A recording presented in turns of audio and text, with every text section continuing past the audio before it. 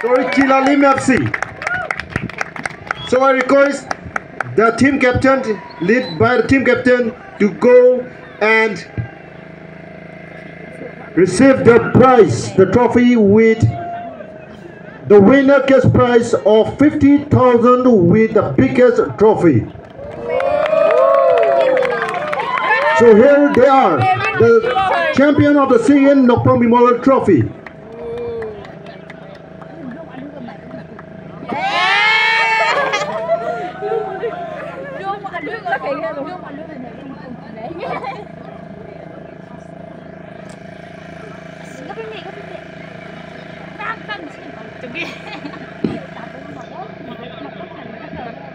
After long trials of eight days of a tournament, we have concluded the tournament with a pompous way. So this is the moment that we have been waiting for. And this is the champion of the second Nokpang Memorial Trophy, Chilalim FC.